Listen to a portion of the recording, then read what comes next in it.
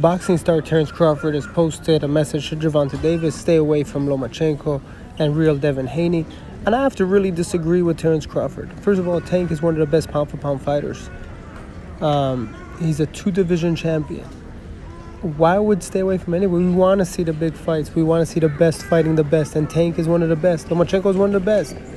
Uh, Devin Haney is a great, talented fighter, just became champion. Um, that fight could wait a little. Of course, it can happen. Ryan Garcia fight could happen. Uh, Teofimo Lopez fight could happen.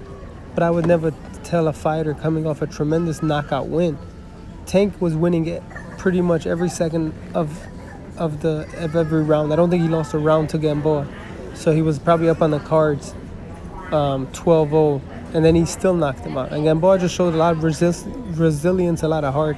Major props to Yuriorkis Gamboa for not quitting a lot of other fighters would have quit. And it's good that Tank put in some rounds because people say he's never went past the fifth round, he never went past the seventh round.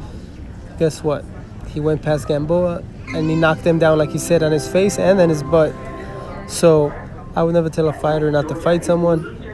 Um, anybody who thinks like that is not positive thinking. Um, you have to believe in yourself and you have to go for it. So there you have it. Uh, as for Tank, um, I think he's going to fight Leo next in a pay per view fight, and that will be a major fight, a big pay per view fight. So there you have it. Stay tuned. At Elie Seckbach reporting